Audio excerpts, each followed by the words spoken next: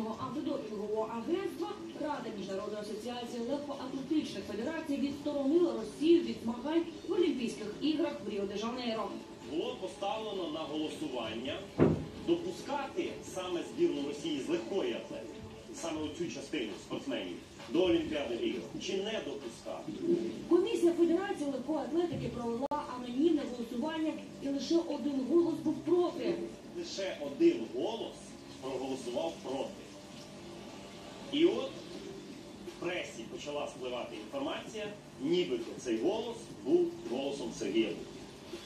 Виходить президент Національного олімпійського комітету України.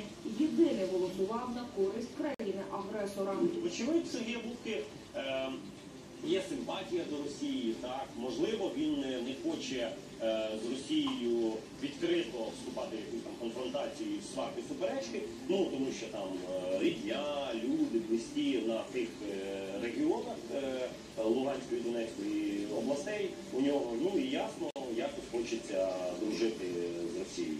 В свою чергу провідні боксери України відмовляються від участі у чемпіонаті світу 2019 року в Росії. Якщо ти хочеш підтримувати, ти, будь ласка, там підтримуй, але не займай тоді посади чиновницькі, державницькі в Україні і ну не, не, не роби це на догоду і на шкоду е, національним інтересам е, можливо, все через бізнес-справи на окупованих територіях. Відповідно до відкритого реєстру ТОВ спортивний клуб Сергія Бубки сьогодні функціонує в так званій ДНР, де займаються виготовленням хліба та хлібобулочних виробів. Фактичним керівником якого є його брат Василь.